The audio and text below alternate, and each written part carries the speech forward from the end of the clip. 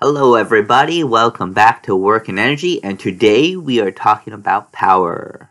You guys see what I did here with the horses? Horsepower, you know, power. All right, here we go. Or power is the rate at which work is done. So the rate at which work is done. What that means is how much work you do, but divided by how quickly do you do it. So the faster you do a certain amount of work, the more power you produce. The longer it takes you to do a certain amount of work, the less power you produce. Okay.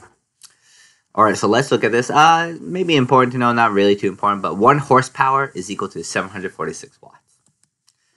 All right, let's look at this. A child pulls horizontally on a wagon with a force of 75 newtons. If the wagon moves 42 m- meters in three minutes, what is the power generated by the child? Okay, so what we have, we're going to call this the wagon. The child's going to push on it with a force of 75 newtons. This wagon is going to go 42 meters in a time of three minutes or uh, 180 seconds. Knowing that, let's figure out how much work is done and then how much power is done. So, work force is 75, displacement is 42, and since force and displacement are going in the same direction, it's going to be cosine of 0, which is going to give us, let's see, 75 times 42 3,150 joules. But we should know that power is equal to work divided by time.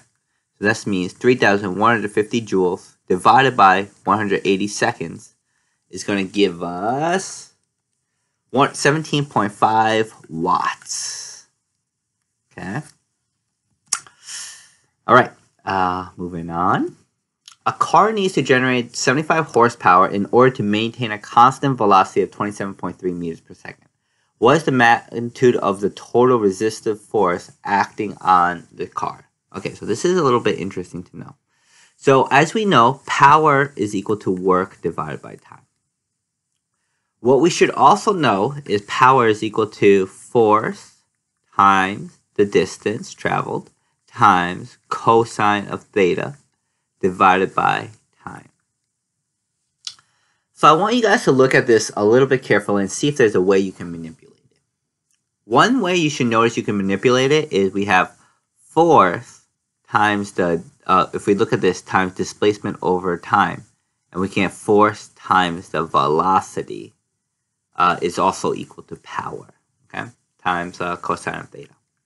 Okay, so force times velocity is another form of power. So we can say that the power is equal to the force. Ooh, ooh, we know what the power is, 75 horsepower. So I'm going to just do 75 times 746 to find what it is in watts. And we get 55,950.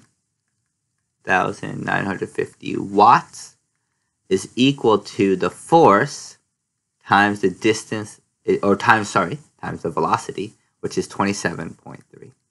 You're going to use this formula many times when something is moving with a constant velocity.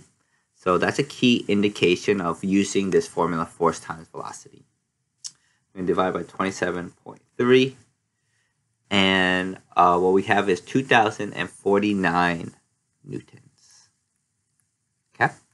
And that's what we see as the resistance force. Okay? And we know we know that there's going to be a resistance force because if there's a force acting on it like this, and it's moving with a constant speed, that means there has to be another resistive force that's equal to it. Or else, if, if only one of them was here, it'd be accelerating. But since it's not accelerating, they have to be canceling out.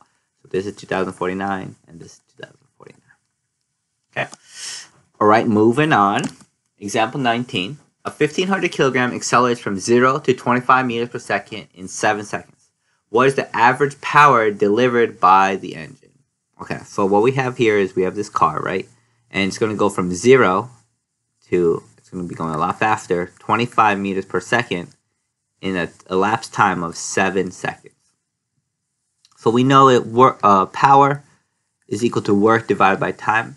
What we should also know is this power is equal work is the same thing as change in energy divided by time. Okay? So we can interchange this. So power is equal to the change in energy. There's no potential energy. It doesn't say that the height increases or decreases, so just kinetic energy. So we're going to do 1 half mv final squared minus 1 half mv initial squared divided by t. Ooh, let me put this over here. Sorry, I'm going all over the place. power is equal to 1 half m, 1500. The final squared, which is 25 squared, minus 0, because initial velocity is 0. So this is 0. All this divided by the time, which is 7 seconds. And let's plug that into our calculator to see what happens. 25 squared times 1500 times 0.5 divided by 7. We get around 66,964 joules. Okay. That's what we, oh, not joules, watts. That's how much power is provided by the car. And a lot of times you hear about horsepower with cars and everything like that. All right, moving on. Uh, all right, actually, that's pretty much it. We're talking about work, not conserve next time, so I'll see you for that. Thanks for watching, guys.